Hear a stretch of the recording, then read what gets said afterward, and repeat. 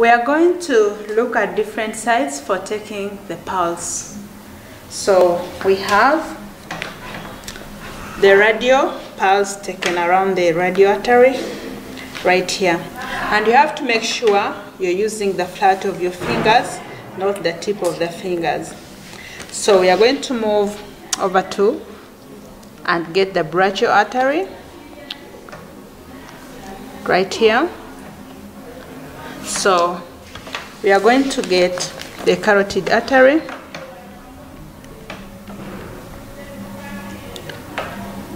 Right here. So we are going to move and get the femoral artery right here.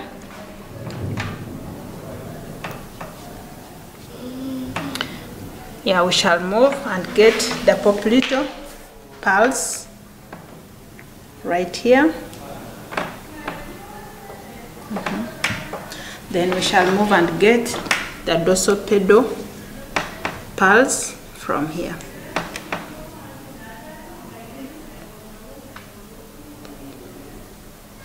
Thank you. So we have different sites, so your pulse can be taken in any of those places.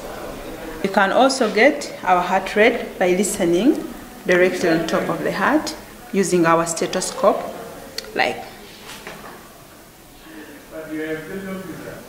Then you can count for 15 seconds and you multiply by 4 and you make sure when you're, you're listening to your heart rate you have a watch to time yourself. So i'm going to listen to the heart rate here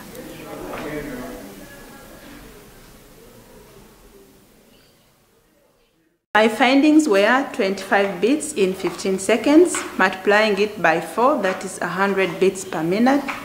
And in the baby of 3 years, that is okay.